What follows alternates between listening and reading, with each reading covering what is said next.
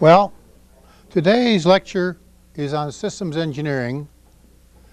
Thursday is on you get what you measure, meaning when you set in a rating system, you have a great deal of effect on the system, and you get, finally, surprising results from what you measure. The next one is not in the notes. It's on how do we know what we know if we know it. It's an attempt to answer the question, when science says we know or we have proved, just what do we mean? What do we mean when we say we know so-and-so? Technically, it's called epistemology. Next Tuesday is the final lecture on you and your research. It's a talk I've given many times, and you can say, in a certain sense, this whole course is an expansion of that talk. Or alternatively, you can say that talk next Tuesday is a summary of the course. Now let's get back to systems engineering. Now, a parable is much more effective frequently than is a direct statement. So I'm going to talk about a man who was looking at a cathedral being built. He went and talked to a guy who was chipping stones, and said, what are you doing? He said, I'm making stones. He went to a sculptor and says, what are you doing? He said, I'm carving gargoyles. He went around and asked each person. Each person said what they were doing. He finally came to a little old lady who was sweeping the floor. And he asked her, what are you doing? She said, I'm helping build a cathedral. Now, if on the ordinary campus you ask a professor at random, what's he going to do? He said, oh, I'm teaching partial fractions. I'll teach uh, Young's modulus how to measure it, or I'll teach something else. Rarely will he say, I'm going to educate the students for their future. Now, you may say in both the parable and that story that of course, the bigger goal was always understood, but I doubt that you really believe it. Most of the time, people are so meshed in the details, they fail to see the bigger picture. It is the essence of bureaucracy. The bureaucrat does his job in front of his face the way he sees it. He does not see the larger function of the whole organization. It's very common. Well, systems engineering is the attempt to look at the whole as a whole at all times. That's what system engineering is. It's an attempt to look at the whole as a whole and not make these foolish mistakes of trying to think it's the details. Now, it's not easy to be a system engineer. It's very hard. But because system engineering is very popular, a large number of people have learned how to say the right words. But you're familiar with people who know how to tell you all about how to play tennis, but they themselves cannot play a good game. The same is system engineering. You don't pay attention to the person's words, you judge them by what they produce. And there are very few actual good system engineering, but there are a large number of people who can say all the words. So I claim to you the problem is very, very difficult. You know what you want to do perfectly well, but you cannot do it and you may be surprised this, so I'm going to turn right on a whole bunch of you. You know you're here to get an education. You know the people paying the bill, the teachers, and you yourselves all believe the education is going to do you some good in your future career. Otherwise, we wouldn't be doing it. You know it's an education. Nevertheless, every term you cram at the end of the term you know that is counterproductive to your education. You know the same effort spent all along the way reasonably should be what you're doing, and cramming is counterproductive. It simply crams a bunch of stuff in, which tends to fade out promptly. It's very poor policy. You know it, but you can't stop cramming. You try to get the grades term by term by term, course by course by course, without looking at the whole picture. Thus, I say, you know what the system is trying to do, namely produce an educated person. But you cannot follow your own rules. You practice inefficient, counterproductive techniques which go against the system. That's why system engineering is so damnably hard. You may perfectly well know and believe, but you can't follow your own rules. That's the tough thing.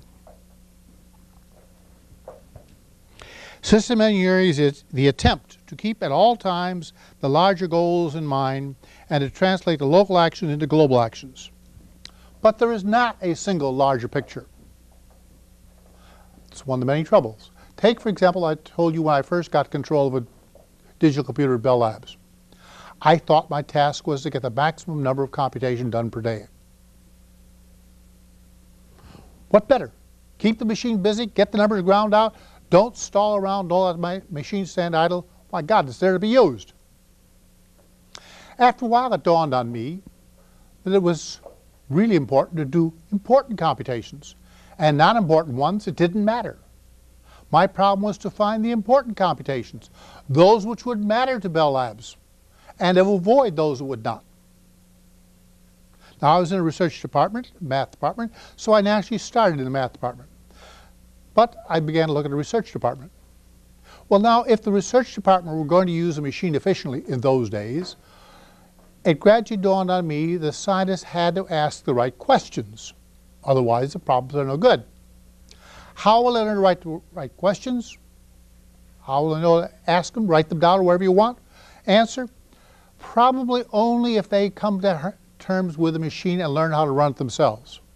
The machines were so different that they're not hand calculation. So I had to set out a method of programming that was so easy that the staff would have to learn how to run the machine, to learn how to do simple computation, what machine computation meant against hand calculation. It's a different business. Well, after a while, it dawned on me that I was not only employed by the math department and the research department, I was employed by Bell Labs. Therefore, part of my problem was to provide a service for the whole of engineering to find out what computers could do with the breadth of engineering.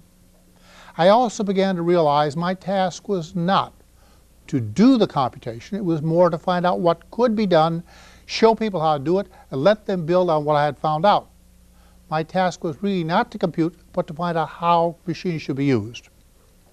Well, above Bell Labs, there was AT&T and Western Electric. What about them? What about the whole scientific world? What about the whole world? I have obligations to all those levels. And the obligations are short-term, relatively long-term, and very long-term. Very different obligations again. To get some computation done today, or find out how to do computing in some area so we can do it tomorrow. I have all those conflicts. I have a job as a total system, and you can't say where the boundary is at any one moment, but that's the real position I was in, and that's the position you were in almost all the time. Now, it's very easy, I said, to say the right words in system engineering.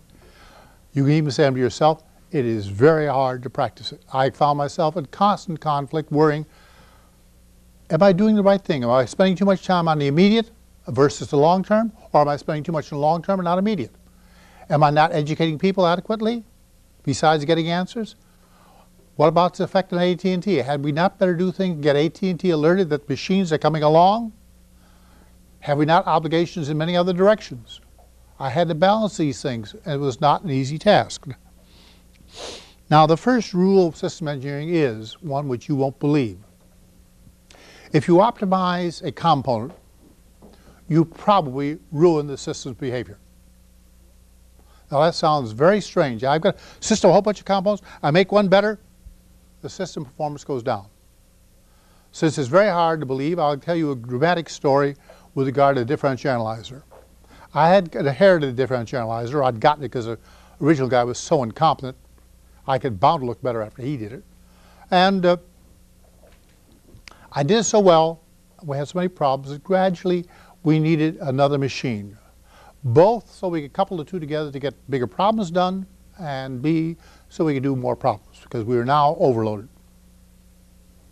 Well, we couldn't buy them commercially because they weren't quite good enough, so we had to have more M9 gun directors condemned and built on the shop floor at Whippany.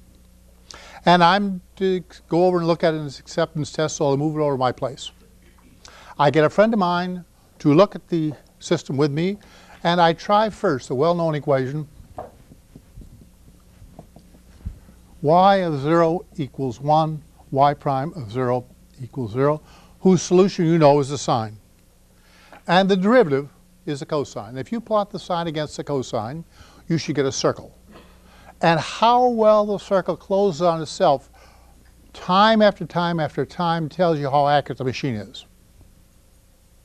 Well, we patched up the first one, it doesn't run. Well, it must be one bad component someplace. We picked some other components, tried again. Didn't work. After two or three tries, my friend admitted something was wrong. We called in the guys who assembled it, pointed out to them that something was wrong. They had to admit there was something wrong. And so my friend and I watched. And we finally got bored watching. We went to lunch. We came back from lunch. They had found the trouble. Yes, they'd put in better amplifiers, much better amplifiers than the ones I had. What they had not done was put in adequate ground. What was happening is the leakage through the inadequate ground from one amplifier to another was wrecking the whole system. All they had to do was put in a really heavy copper bar and then the thing ran. Now here's a machine where all the components are independent and still improving a component ruin the system behavior. I know it sounds strange. You say, oh, that's a unique one. No, it's not. It's very, very common. It's very common that when you improve a component, the system goes to hell.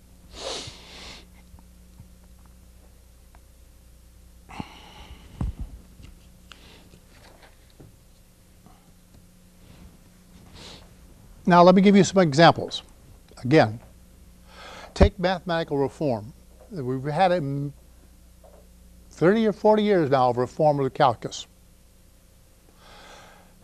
What they do is have some idea, like use computers or something else, and they do that. They never, never ask themselves, what is a total mathematical education? Now, to be mathematically sophisticated, you certainly ought to know math induction. And you ought to know complex numbers, and so on. But what happens in these things? In complex numbers, you meet them in high school algebra when you hit a quadratic. And then I say in holy dread, they are avoided. Calculus never mentions them. Geometry never mentions them. Until you come to linear algebra. And there, well into the thing, when you suddenly hit complex eigenvalues and complex eigenvectors, you meet them again. Now you're facing two difficult concepts, complex numbers and eigenvalues and eigenvectors. And is it a wonder that the students go to park and don't know what's going on? No. You never try to teach two complicated things at one time. But there they do. Because they did not stop and think. Yes, we must deliberately give the reinforcements steadily on complex numbers so when we come to this point, they will understand them. The same thing happens in math induction. You're told a couple of times and then for a long while you never meet it and finally, if you take computer science, you'll meet it frequently and you find other words now and then. It's a basic tool for answering the question, how, under mathematical conditions, can I prove something for all cases?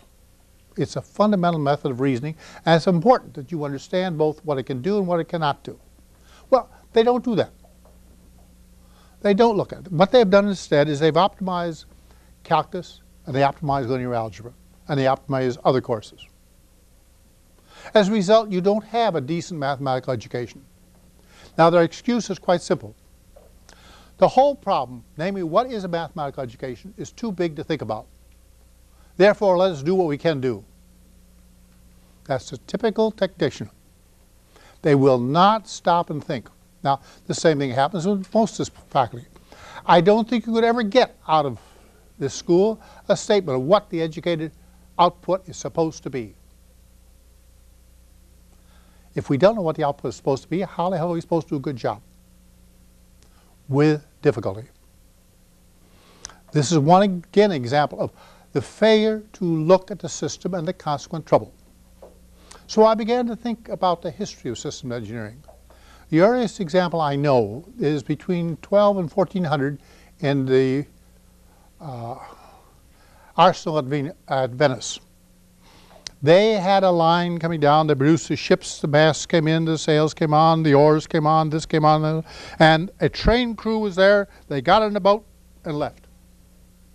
It's an early example of just in time. Just in time the mast was there, just in time the sail was there, just in time the oars were there, just in time the train crew was there. That is an example of systems engineering. They knew the system, they knew the problem, and they looked at the whole problem. How do I keep a fleet going? It's more common now, but that's the first one I could find in history. Now you may say that the railroads were systems. Yes, but that does not mean, I think, that you can look and say the guys who built the railroads understood the system. When I read the history, I doubt that they did. They saw the locomotive, they saw the cars, they saw the rails. They did not think of the system as a system. They simply patched piece here, piece there. The first real system engineering that arose in large in modern times is the telephone company. They were in a very funny position. They not only designed and through Western Electric manufactured, but they operated it. Now there's a big difference between making something and selling to somebody else and running it yourself. A tremendous difference. Suddenly reliability and other things and maintainability become very, very large because you're going to have to do it. And it, since it's the same organization, it enters into design. Now I have to tell you something about the telephone business that probably never occurred to you. It's called the diseconomy of scale. You're used to the economy of scale. If you want to build 10, it's one thing. You want to build 100, you gain economy by scale. But now consider the telephone business. We have 10 subscribers. 11th one comes in. That 11th one's got to be connected to the other 10. A 12th one comes in. That 12th one's got to be connected to 11 other people. The more people there are, the more cross connections I must produce. It is a job which is very easy to do when you got two people. It's very hard to do when you got 200 million. They had that peculiar problem of the diseconomy of scale. The bigger they got, the relatively harder it is to do the job. Not the easier it is. So they had to pay attention to system design, and I will say by and large, they have done it pretty shrewdly. In fact, they've done it so shrewdly now that most of you haven't got much idea. You push the buttons there and you get connected and haven't much idea what happens behind it. They've got a big elaborate system going there, a very complicated one, probably the most complicated thing built still to this day. Every central office has well above a million lines of instruction now. It used to be mechanical. We've got them into computers. But we face the problem of how do you produce a million lines of code twice a week or oftener when no two central offices are in the same place at the same time or doing the same function. Central offices don't do the same thing. Some of them have different calling habits. Ones in cities, you have different calling habits than you have in the country. You have different design criteria to meet, and therefore the software must be different. They face these problems, and by and large, as you know, it works. It works better electric distribution because when the power fails, you grab the telephone and suppose you can call up and tell them, hey, the power's out. You'd think it would be the other way around, wouldn't you? But nope, that's the way it goes. It's pretty good. Now, I don't pretend to answer the question how it was that I, who was a classically trained pure mathematician, became a system engineer. But I can give you some episodes along the way. As a junior, when I went to Chicago, Robert Hutchins, the radical president of uh, Chicago, was in charge. And the rule was you got a degree when you passed nine courses in your major field and six in the minor. It didn't matter what grade you got along the way, you had to know the stuff at the end of your senior year. You had to know the nine course of mathematics. Well, that makes you study a little differently. When you are told you're not passing course by course, you're going to know the whole as a whole on an exam then and your minor field, you're going to know the whole as a whole there. It makes you think a little different, It makes you study different. The next big episode was at Los Alamos, I think, when, well, of course you do it partly when you get your uh, doctor's degree also, you begin to study the problem of how you're going to pass your orals. But at uh, Los Alamos, we knew we were building a bomb. The whole bunch of us were building one bomb All the parts must work together, it must fit in a bomb bay, and we better get it done before the enemy who's working on it gets it, because if he gets there first, we're through. We knew we were working on a single one design, one single system. That made a big impression on me. Now, going to Bell Labs, I learned a great deal more. I told you about the episode of computing, a great many other ones. When I saw the nature of a system, I saw how when people did not see the system as a whole, they did counterproductive things, and that was very bad.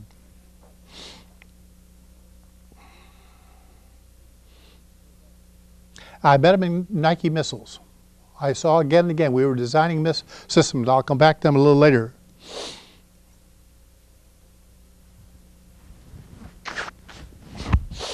Now another point connected, I first learned with Nike missiles. When we put the test shots out of Kwajalein, I wasn't involved directly, but I was back home involved. I didn't go out to Kwajalein. What the heck? Why go out there for watch something go off bang in the sky? I found that there were field changes going out even as we were installing the plant to do the job. I didn't really realize how much a system is constantly being adjusted and changed and fitted here, there, and yon, and how field changes keep coming in even after a thing is accepted sometimes, further field changes come through. It made me think a lot. Now I'll come up with a second criteria. Part of a system engineering job is to prepare for changes so that when they occur, you can make them gracefully. Furthermore, if you do it that way, even as you're doing your research and developing the thing, when you get new ideas, if you've built it flexibly, you can. This flexibility I didn't appreciate for a long while, but gradually came to realization. That's why in electrical engineering you draw black boxes. Then to some extent you can modify black boxes without affecting the whole system, but you also cannot. I saw that when watching doing calculation for people. Arguments like, look, there's no use putting a wide bandwidth processing circuit here when back there your radar data hasn't got that bandwidth. Or those servers have got the bandwidth, there's no use providing that bandwidth. A little bit more, yes, but 10 times as much, forget it. We have to look at how the flow of the information goes through, how much information is there, how will it be used, we have to think about these things carefully and not over-design one part and under-design another. So I began to understand these things from experience. Now I got another rule.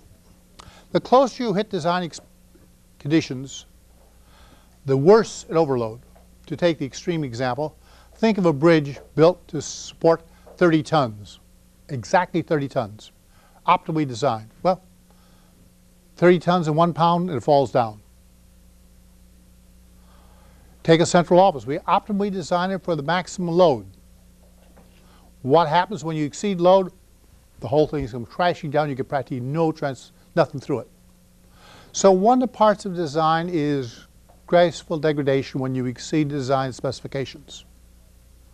The bridge sags a little bit more. We don't carry quite such a load, but we don't collapse immediately in a central office. Graceful degradation of the system under overload is essential. Now, system engineer, I told you, is discussed by lots of people, and almost nobody knows anything. But there is a set of notes written by my friend Bob Westerman, which was never published, but which I have a copy, and I've used parts of it. And he's the only guy I really think understands system engineering very well. And it's called One Man Systems Engineering, written back in 75, so this is 95, 20 years ago. If I take the titles only, one man system engineering. What is systems engineering? On the objective, what does a system engineer do? The framework of systems engineering, organization of systems engineering, objectives and policymakers, on the methodology of system engineering, evaluation and common or uncommon sense, and the ending, envoy. Now, he believes that the group is the basis for system engineering. I had, when I was working with computers, essentially do a single-handed. There weren't people around in my location. There were people spread around the United States, and we got together in technical meetings. but fundamentally there weren't people who understood about computing, and I had to do system engineering by myself. And I ran into a lot of troubles. It's hard to do it, but uh, I tend to be more than he does, but he had bigger problems, and he did not only military jobs, but Bell Lab jobs, and he did a lot of them. He believes that specialists brought together to form a team is the basis. But he also maintains that unless you let them go back to their specialty to keep their talents sharpened up, it will fail. And he apparently went through a period when, because he was part of a team who could solve all kinds of problems, they were constantly asked to put out fires. And they couldn't maintain their skills. So one of the things about system engineering is that the people with various skills must be given free time now and then to go back and sharpen up their skills in their various technical areas. They cannot be kept on a systems job one after another after another. They will lose their underlying skill. But management won't appreciate that point at all. They've got another crisis. Now we believe that system engineering job is never done one reason is the presence of a solution changes the problem. To give you my favorite example, I came to the belief that what I should provide in computing service was regular, reliable service, and particularly short times for debugging programs. In those days, you put the program on a machine, and you got the answer back. You now you have terminals, which does the same trick that I want to do. So I set aside an hour in the morning and an hour in the afternoon for short problems, up to three minutes. And if you had five, it's all right, but above that, off. No matter how much you say, I'll have the answer in two minutes more, forget it. Well, what some people did with 10-minute problems, they broke in three parts. They did one third, somebody else, they walked out of the office, uh, computer room, somebody else came in with the next piece, somebody came with the next piece, and bingo, they got the thing done. At a far greater workload on me, they were optimizing their personal production. My problem was to optimize the production of Bell Laboratories. And one of the first things you find out in system engineering is this cl classical conflict. The individual's idea of what they want individually and what you're trying to do, the system as a whole, comes head-on in conflict. And when you change the rules to design for our system optimization as a whole, they change their strategy for optimization in the small. For example, take how much you people have changed your plans as various rules for selection have been made. When management changes a rule for promotion, you change your behavior to fit. Not that you think that it will do best for the company as a whole or the organization, you think it's best for you. You continue trying to optimize your best response to the system every time the system changes. Therefore, system engineering job is never done. The moment you put in a new system, that people react differently. And so you got to design again. Second place, what happens is you design, you evaluate, you don't like it, you come back and you go around the circle, design evaluation, quite happily, until somebody says, hey, we got to have a product. And some people with more nerve than mathematicians says, that's the deadline, we're starting this building tomorrow. And so you commit yourself to a design which you think that if you were left another six months, you could do better. It's not surprising, therefore, the product, when it's finally produced, is not optimal. The design, evaluation, and modification cycle is broken somewhere because it has to be. Theoreticians like me and the math department wouldn't have had the nerve to do it. Engineers are needed to stop the process and get it on the track.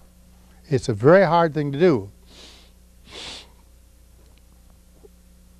Now, Westerman believes, as I do, that the client has some knowledge of the symptoms of his trouble, but he doesn't know the cause, probably. Your problem is to find out why he has the symptoms. Your problem is the same as the doctor's. You go to the doctor with a runny nose, the doctor's problem is to find out why. He can give you something to stop the runny nose, but that's not the problem.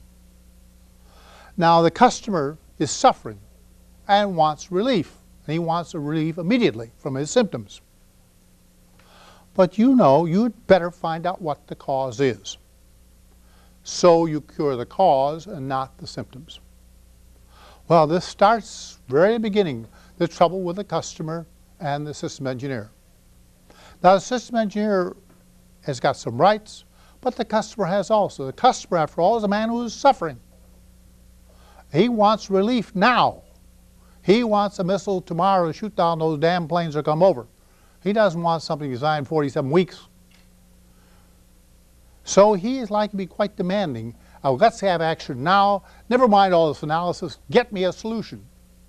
And the system engineer is in the position of the doctor to say, yeah, this guy knows the symptoms, but he doesn't know the cause. He doesn't really understand this problem. And part of the system engineer's job is to try to uncover the underlying problem. And it takes time to do this. It's rather time consuming. Now, just as there's no definite system within which the solution is found, the boundaries of the problem are likewise elastic. What the hell the solution is going to be is variable. And I suppose the heart of system engineering is the acceptance that there is neither a definite problem nor a definite solution. There just isn't the thing which you were taught in school, definite problem, definite answer. The answer is six. No. Now, can the schools do anything about the fact that they teach you no systems engineering worth mentioning? The answer is, I think, no. Attractive as the idea is of a laboratory course in system engineering, it can't be done. For example, consider my problem at Bell Labs in computing. I had to know the kind of people who were in physics, who I was going to educate. How educated were they? How much were they willing to learn computing? How could I lure them into it? I had to understand, as it went out, the kind of people who were going to do what kind of jobs. I had to understand the ethos of the whole organization. How much duress can you apply in the organization, and how much must be by consent. There's an enormous amount of difficulty, and you until you understand those elastic boundary conditions, the people are going to do the job in the field. It's all very well to design something in the laboratory, which works beautifully under laboratory conditions with laboratory maintenance, but out in the field in real work conditions, it goes to hell rapidly. Because the people out in the field are in a hurry, they're under difficult conditions, and they aren't well trained. Well, I've watched it happen to many more companies than mine because I didn't see it very happen very, happen very often in Bell Labs, but I saw it happen elsewhere where what worked in the labs doesn't work in the field. The people are different. They've got different styles. They've got different habits. They've got different work conditions.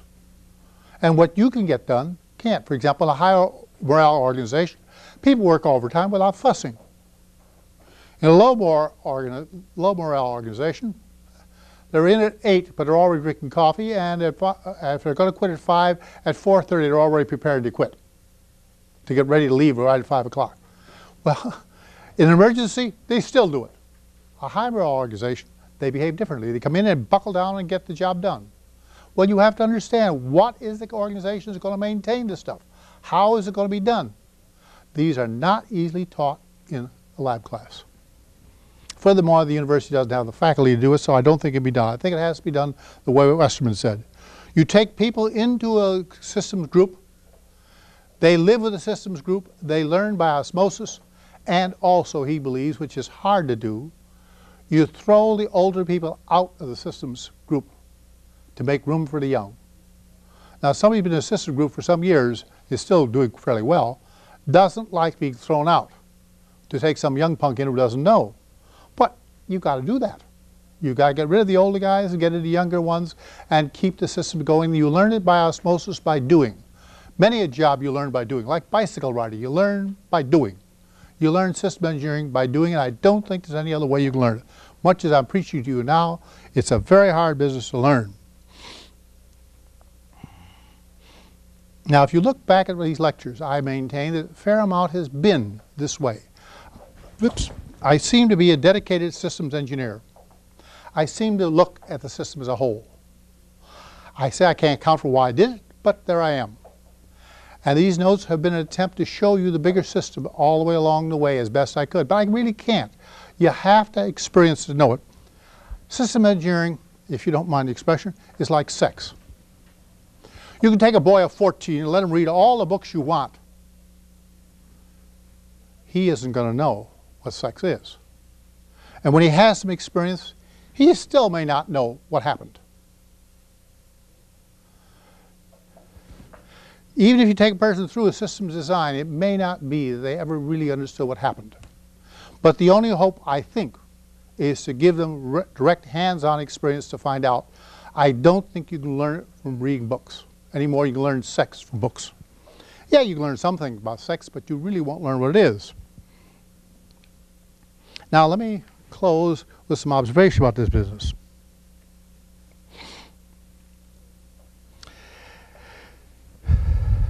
I have seen many times the wrong problem solved exactly right. They didn't listen to the customer's agony. Or perhaps they listened to the symptoms but did not find the cause. And so while I patched those symptoms, some other ones broke out elsewhere. The, wrong, the nice solution to the wrong problem isn't very good. I would say, loosely speaking, it's better you have a poor solution to the right problem than a good solution to the wrong problem. And that means you get down somewheres near the bottom of what is the problem. Now the problem always changes. There isn't any problem. And to give you an illustration of that, let's take my experience with Nike. When I got involved in it shortly after I came to Bell Labs, I was computing trajectories and the problem was fundamentally we're going to build something which will shoot down an incoming plane. Given altitudes, given speeds, and so on, given maneuverability, we got those estimates of what they will be when we get the system built, which of course we don't know, but we estimate those things. What altitudes, how fast, what maneuverability. We're trying to shoot down an individual plane. Well, we get it done. And sure enough, we take it out to Kwajalein. One plane flies across a drone pretty much at an altitude we know, pretty much the right time, boom, we shoot it down. One shot. Does that prove the system works? I don't know. All I can tell you is when they flew the film back, and I was there at Whippany watching the film, and the thing went off like a zing zing, and there was a big explosion in the sky as parts fall out, we all applauded and shouted, hooray! But uh, one single shot, no one was coming by, how good was the test? It wasn't much. Well, let's go on. We now come to, shall we say, the defense of cities. How many batteries around New York? How many around Podunk? And how do we coordinate them? Well, how do we coordinate it? We can't have each one operating independently because then six of them all aim the same airplane and the other airplanes come through free. Clearly, we've got a totally different problem now of coordinating the guns around the city or on a ship or anyplace else. We've got to coordinate the group as a whole. It no longer becomes shooting down one airplane by one missile. It now becomes defense against a fleet of targets. And the question of how long can you, having fired guided into the ending, how quick can you launch another one to catch another guy further back? All these things have to enter into it. Well, we work on that for a while. We get that system going. So we have systems of missiles now. And now we come down, as I told you, the cities. What cities do you defend? Well, you think long enough, and you will say, huh, we must leave no undefended target where he can do a great deal of damage. The enemy can do damage. We must make every bit of damage to the enemy equally painful to the enemy. That's what it really is.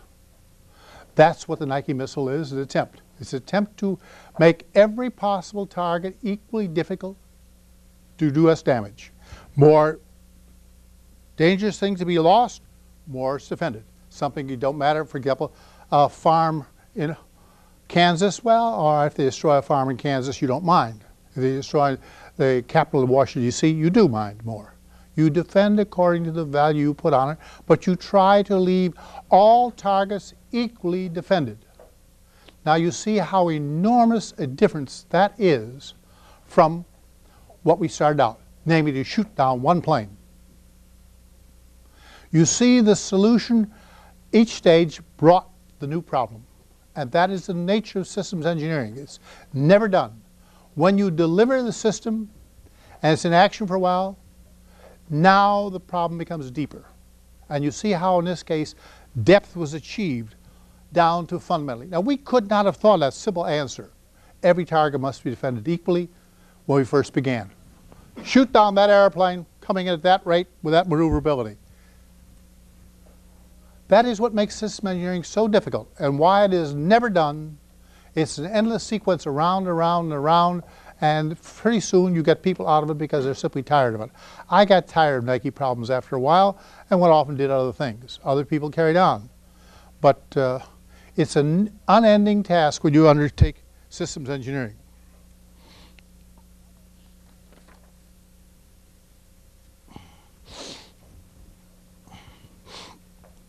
Let me say again, but I didn't, don't think I said well enough. It's the patient or the customer who has the agony. He's got the pain.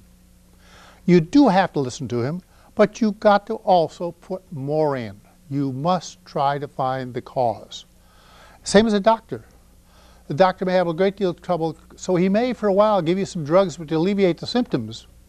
But if he's a conscientious doctor, he just doesn't relieve the symptoms. He tries to find the cause and finally do something about it. So I have nothing against relieving the symptoms immediately if there's nothing else you can do. But that's not a systems engineering job. The systems engineering job is to find out what the nature of the problem is, and each time you get a solution, your understanding of the problem should be deeper. You go around again, this system is deeper still. It's a difficult problem. For, now, if you come back to what my favorite one for the last, say, 18 years or so, what is the educated person? it's a changing thing in the first place. But it's very, very difficult to get anybody to say much about what is the target. The complaint is that we got a bunch of people who can't do this, this, and this. Yes, they can't read, they can't do this, that, and the other. We know all the complaints. We don't really have a clear picture of what we're trying to do. It's one thing in the telephone business, although even there it's a little difficult sometimes to decide between supplying service and cheap service. We've done several things which we know are uh, not popular. For example, in my mother's day, in my childhood, you picked up the phone, there was a lady out there. Number, please. And she did a lot of other things as well. She's a human being. Now you have great trouble getting a human being on a telephone system. You punch buttons here, there, and yon, it says, uh, if you want one punch, if you want this punch button one, if you want that punch button two, and so on, bing, bing, bing. And half the time when you think you're getting a voice, you aren't. And that's not popular with people. People would like to have it, but that having real human beings there is very, very expensive. So what we have done, we've mechanized the thing and we've produced a different kind of solution which isn't always popular. And in some corners of my mind, I wonder whether the telephone company has done the right thing or whether it has gone too far automating and not enough charge you a little bit more but give you a little more, more human service. I want to close on that exact aspect. The trouble with system engineering is you are also required to think about the human beings. If you don't think about the human beings who are doing the job, it isn't going to run very well. My failure to notice when I put in the short test times that they were promptly going to change their strategies, I forgot the human beings were all eager to optimize their performance on their problem, and they didn't care one bit about the systems of how much computing was done for the whole of Bell Labs. My problem was the whole. Theirs was an individual one. And you will find throughout system engineering the conflict between the individual and the group. It's got to be solved. Now, solving group completely is not satisfactory because it turns out to be inhumane. You have to let the people get away with some things now and then. You have to let people act humanly instead of expect them to act like machines. It doesn't work when people are supposed to act just like machines. You have to appeal to some of their personal human features to make them like and work with the system. So system engineering is not only the hard engineering, which you have to have, and the basis of which you are being trained now. We train you in school to solve definite problems in definite ways. And I've told you system engineering is not, it's vague problems solved vaguely. It's a big shock. But that's what I'm telling you is the nature of the thing. And I see no other way than telling you about it and then let you experience as you go through, looking at the system as a whole and realizing there is no total system. In your job, there is your position at the moment. There are people above and below, and there are various goals of the whole organization. But those goals of the organization change. For example, in many corporations for past uh, decade or so, it's been very popular. Uh, maximum bottom line profit, quarter by quarter. Well, that neglected long-term growth. Attention to long-term growth meant there was no short pay, and you were bought up and you didn't exist further. If you can't stay in business, you're out. You've got to stay in business, and at the same time, you've got to think something about long-term profit. Now, almost every organization has changing goals. The role they play in society will change. We're expecting different things in society. So one of the things you must do to be a system engineer is be some, some sensitive to the human side of engineering. So next time we have a lecture on you get what you measure.